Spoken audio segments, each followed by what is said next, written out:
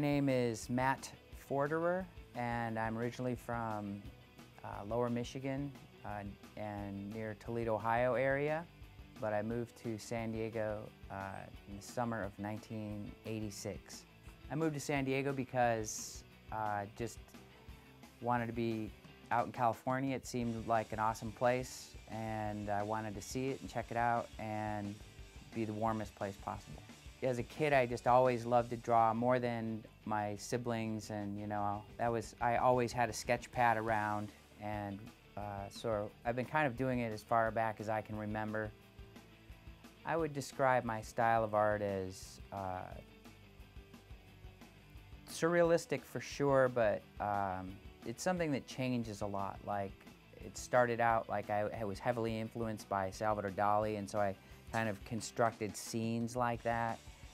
And then I discovered Max Ernst and started to do collages a lot. And so I would want to blow up my collages. And so that's where I'm at now is I kind of create collages. And I do those fast so I don't have any um, reason for doing those. I, I, so I don't have a, a, purpose for things, you know, or a meaning.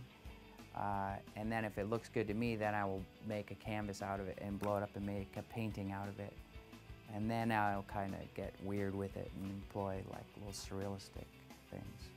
The style I'm trying to get into is just something original and that is just my own. And when I was just painting alone, I wasn't really coming up with that. But that's what I discovered blowing up collages. I discovered that I had a very unique collage style.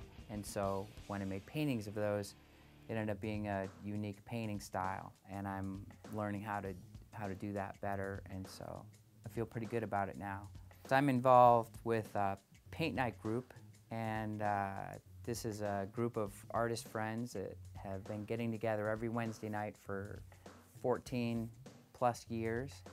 And it started in this garage. Um, I was working with a friend named uh, Darren Cohen at a uh, old poster restoration place up in Oceanside.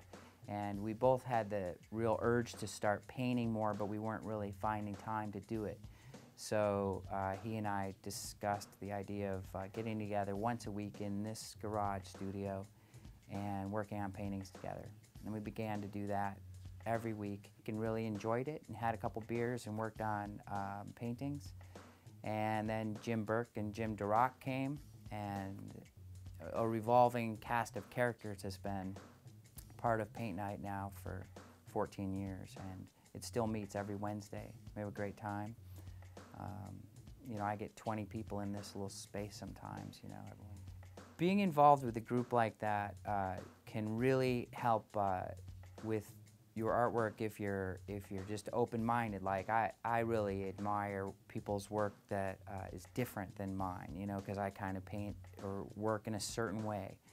But I've really learned how to loosen up through some friends uh, that just do really minimalistic um, know, abstract work, and I've really opened my mind through, uh, through that, and, and you continually grow.